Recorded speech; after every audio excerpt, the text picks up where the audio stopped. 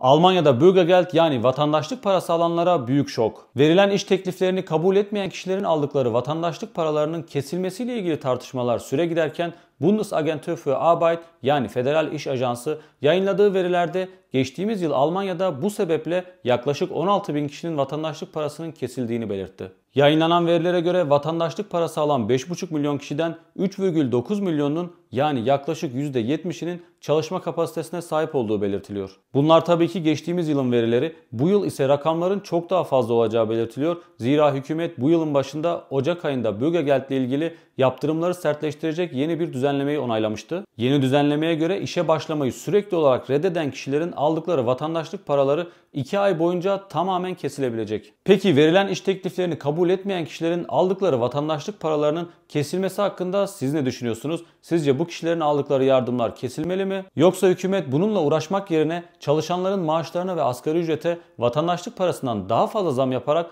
çalışmayı tekrardan daha cazip hale mi getirmeli?